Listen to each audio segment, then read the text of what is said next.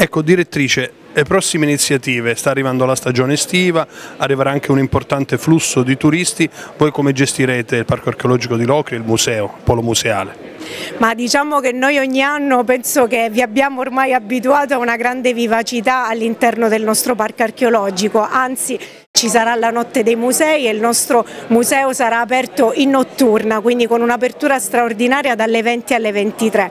Quest'estate, come di consueto, e lo presenteremo nelle prossime settimane, abbiamo un programma ricco e diversificato, ci teniamo soprattutto a questo, una serie di eventi che vanno dai seminari alle visite guidate, agli incontri scientifici, ma anche i concerti, la riapertura del nostro teatro e quindi un programma eh, certamente ricco e diversificato per la comunità e anche per i turisti che eh, visiteranno l'area per tutta l'estate. Una novità in termini diciamo, di accoglienza, cosa ci sarà? Cosa avete pensato?